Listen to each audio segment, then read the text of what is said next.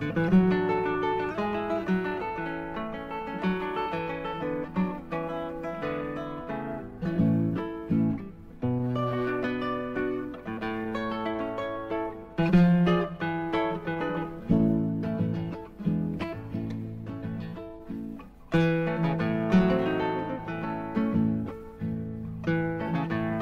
tal amigos de Agroinforme? Qué placer recontarnos en esta jornada de miércoles 9 de agosto. Vamos a abordar varios temas en la jornada de hoy. Eh, da la sensación de que se está alargando un poco más los días. Eh, ya estamos rumbo a la primavera, más aún con el veranillo que tuvimos la semana pasada. Vamos a hablar con Alejandra Payante sobre los precios en el mercado mayorista de la Unidad Agroalimentaria Metropolitana. Con el productor de Sarandí Grande, Hugo Ruiz, Vamos a hablar de los campos de recría, campos de recría de la Asociación Nacional de Productores de Leche en Montes y también en Libertad.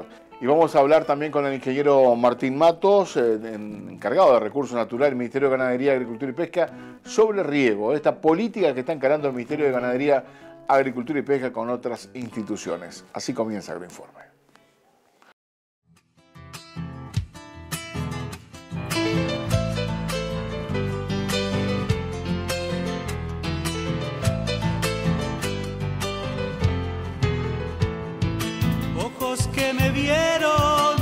De sueños, manos trabajando, hombre de silencio.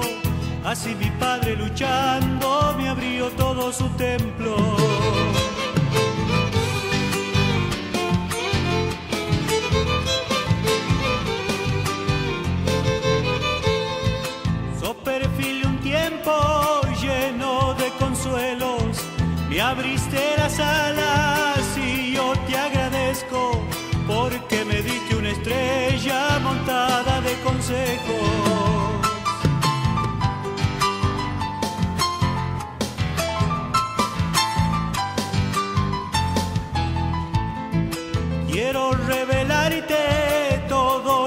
Siento.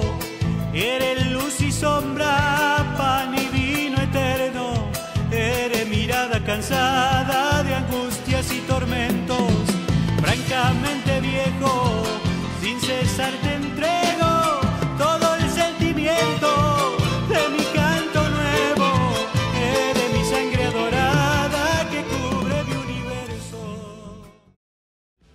Presenta este espacio Escritorio Dutra desde 1898 junto al productor rural.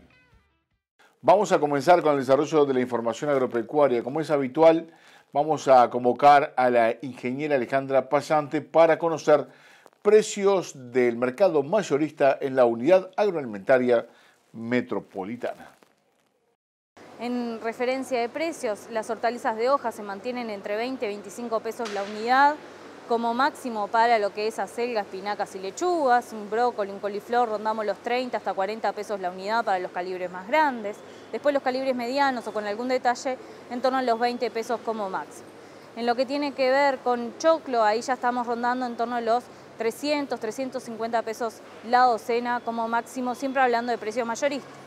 En lo que respecta a cebolla, pasamos de tener un valor de 40 pesos por kilo hasta ahora tenemos valores de 30 pesos para las calidades inferiores y como máximo 40 pesos para las partidas de buena calidad sobre todo las importadas. En lo que respecta a cebolla colorada, es así, se mantienen con precios altos, rondamos los 80 hasta 90 pesos por kilo, inclusive hasta 100 pesos para las calidades superiores. En lo que es eh, papa y zanahoria, en torno a los 30 y hasta 35 pesos por kilo, como lo más común. Algunas partidas de zanahoria de buena calidad, buen tamaño, esas pueden llegar hasta 40 pesos como máximo por kilo.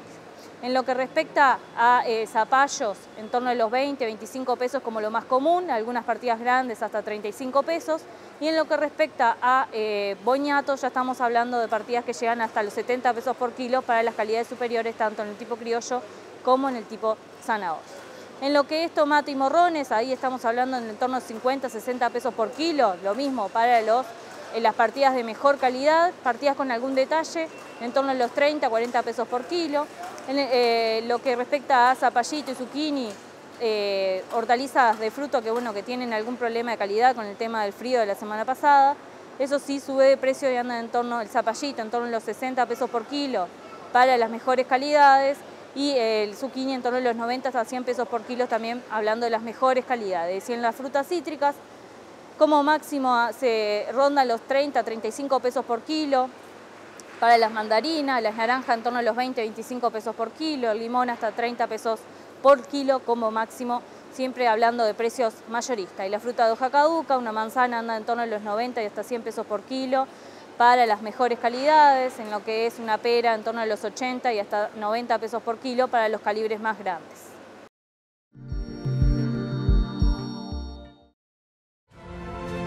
Walter Hugo Abelenda. Nuestro trabajo es defender su esfuerzo.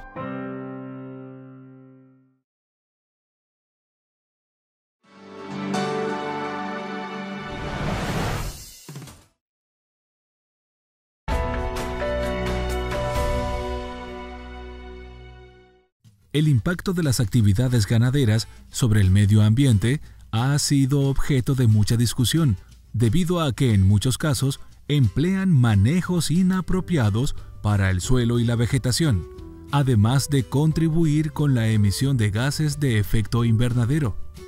Para contrarrestar estos efectos perjudiciales, los ganaderos actualmente están aplicando modelos productivos como la ganadería regenerativa, cuyo objetivo es mantener el equilibrio entre la producción de proteína animal y la conservación de los ecosistemas, mediante el manejo agroecológico.